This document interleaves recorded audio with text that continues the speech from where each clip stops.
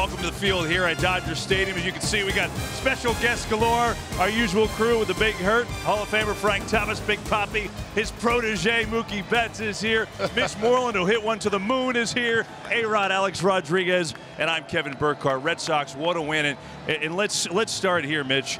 You guys, you know, this was a marathon last night, right? I mean, here you are. It's four nothing. Puig hits a home run. That's a tough spot, and I want to know what you guys are thinking they're coming up in that inning when you got this thing going. Yeah, obviously, um, you know, we went a few innings there. Didn't have a whole lot going for us. Uh, you know, everybody was fighting. It's just one of those grinds. You, you, you, know, you could feel it, but you know, we kept our heads in the right place. You know, kept trying to create that uh, that havoc on the bases, get some opportunity out there. We got a couple base runners, and uh, you know, able to capitalize. Hey, I had a question for y'all. How do you guys feel about Rich Hill coming out of the game? Uh, I mean, you know, he was uh, he was pitching great. Um, you know, but you know, I, we just try to grind through at bats and kind of wear him down and, and, get him out of the game. Maybe get to uh, somebody else where we can put some runs on the board. But uh, you know, he pitched a great game.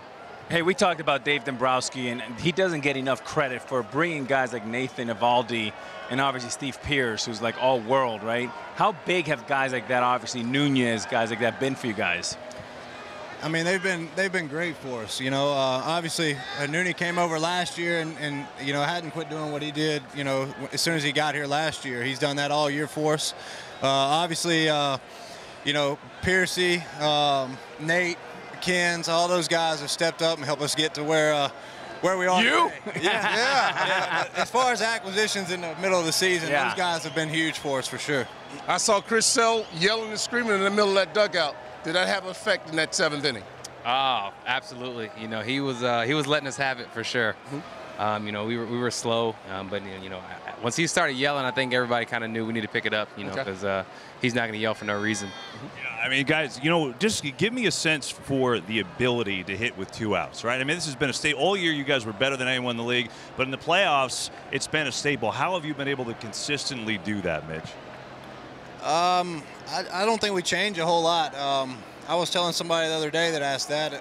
I feel like we've been pretty consistent with it across the board in, uh, in, in every part of it. But, uh, you know, we, we approach all of them the same. We're grinding out at bats, trying to win the pitch. That's something AC preaches a lot. Just go up and win the pitch. And, uh, you know, I think we don't take we don't take it bats off. We don't take pitches off, whether it's no outs, one out, two outs, bases loaded. It doesn't matter. We go up there and, you know, we're trying to win that win that pitch in that situation. Can somebody talk to me about Steve Pearce? Please.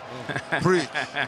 I mean, for some reason, everybody thinks he's this serious guy. You know, I guess the way he looks or whatever. But he, man, he's he's hilarious. He's one of those people you got to have with the team just because he brings laughs, brings joy, but he also brings that intensity that everybody needs. And then obviously he's a he's a great player. You know, swings it, plays defense, does everything you need him to do. And he's just one of those guys that kind of flies under the radar, but it definitely carries the team. Hey, wow. fellas, you're one win away from the World Series tonight.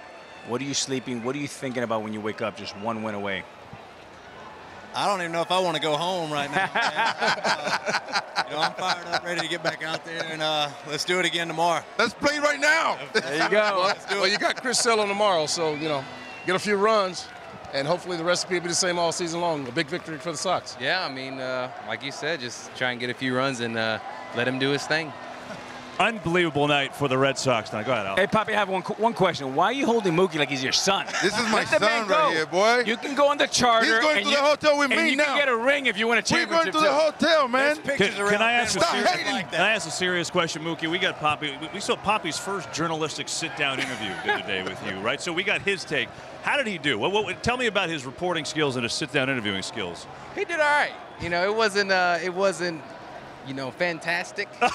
all right. But he did all right. I can't. I can't. I can't. You're killing me, man. I can't say you did amazing just yet. You need to do one more, and then I got you. I got it. all right, there you have it. The true, the true scoop, Papi. Hey, you got it, baby. I like it.